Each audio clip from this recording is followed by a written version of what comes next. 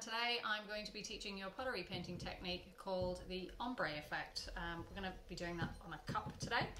Um, what the ombre effect is, is where you kind of fade colours that are kind of like each other, um, graduate them into each other.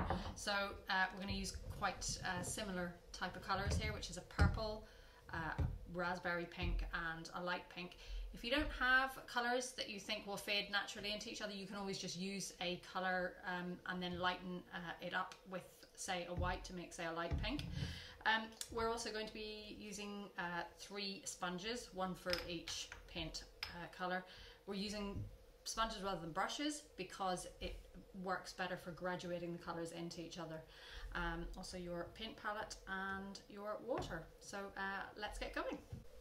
Okay, so we've got our three colours in the palette. So we're going to start with the darkest colour at the bottom, which is our purpley colour. And we're going to just start splodging that on.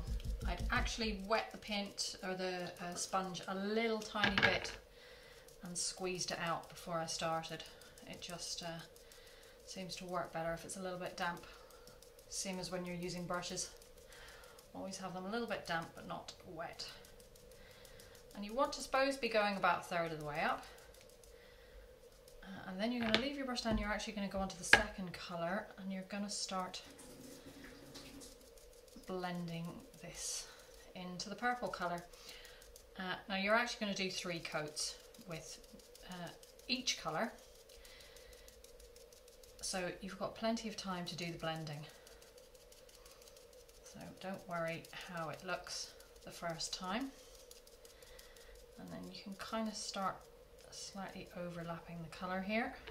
And now we bring our pink in. A good tip for getting the top of your cup done is to actually just flip your cup up and just go because you're going to end up with pink all the way around the top of your mug anyway. And you can actually do inside as well if you wanted but if you just wanted a nice rim along there you just dab the brush in there just the way I did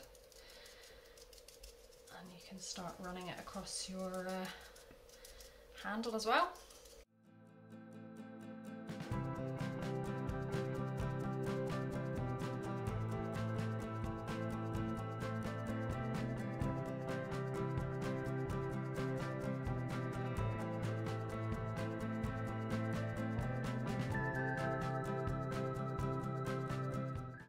So, ombre effect cup finished and signed. So we just need to leave it to dry for uh, at least 24 hours before we glaze and fire it in our kiln, uh, which uh, actually is another video we're going to do. Which reminds me, um, if you uh, liked this video, please uh, like and subscribe to our channel. Thank you.